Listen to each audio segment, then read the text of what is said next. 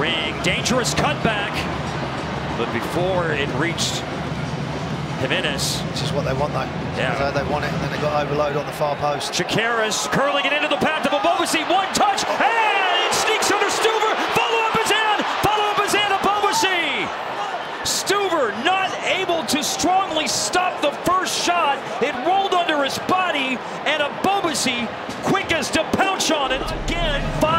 goals against them. Yeah, but what a delivery again. And he just reacts quicker than anybody else. Wonderful ball, played in the path. It's, it's a fantastic counter-attack. A trademark, you're defending,